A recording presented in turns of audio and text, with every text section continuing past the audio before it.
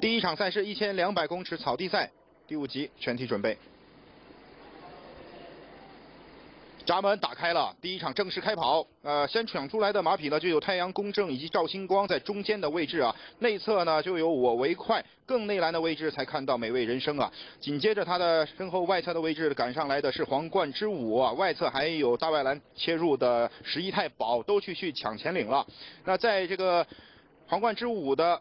内侧呢就有瓦伦泰德，在后面呢是美味人生，现在已经落到马群的中后部了。在他身后外侧的位置有两匹圣象以及击中，在后面垫尾的是林家巅峰以及大旺来，马群非常的紧凑。现在前领的守在内栏位的是赵星光，旁边就是十亿太保跟他斗前速。更外栏呢加入战团的还有皇冠之舞，在这三匹马身后呢，则看到太阳公正以及瓦伦泰德。内侧的位置呢，则是美味人生，更外栏的位置呢是皇冠之舞啊。现在先加速的就是。赵星光啊，中间呢还有一匹呢是参呃加入战团的，就是十一太保。十一太保的外侧的位置赶上来的还有太阳公正啊，三匹马是你追我抢啊，跟后面的马群已经是有点脱节了。更外栏的位置呢，击中也赶上来了，但是稍微有点跟不上这个步速啊。太阳公正先出头，先到终点。好，第二名的可能是十一太保，也可能是击中啊。在后面才是美味人生赵星光，跟住皇冠之舞林家巅峰，我为快瓦伦泰德圣象大旺来。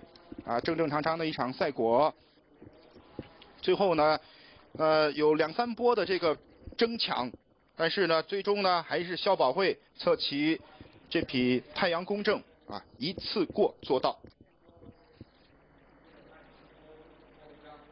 这个结果呢，我们可以接受的。这四匹马，这三匹马都是，呃，任何一匹赢。我觉得都正常，前面五匹回来都是正常的，那些三位数的冷门完全没有任何的招架能力，哇，甚至第六匹你看就是八号了，所以非常正常的赛果。八号是需要碰到弱一点的这个对手了，一四二六五，你看。好，小宝会这场骑的非常的。到位啊，可以说早段一看有这么多上去斗，他就留的稍微靠后一点，但是呢还是维持住那个步速，以备后面呢要迅速的去走位，击中就可惜在这里了。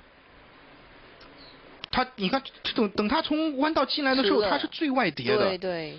也是失了很多位了。嗯。我刚才这边找击中在哪里？这边哦。最外来。最外栏。这个不划算的。对。然后十一太保是一步都没有失这个位，本来十一太保一度先出头的嘛。对，他就我我觉得到这个程度了，我能接受这个结果。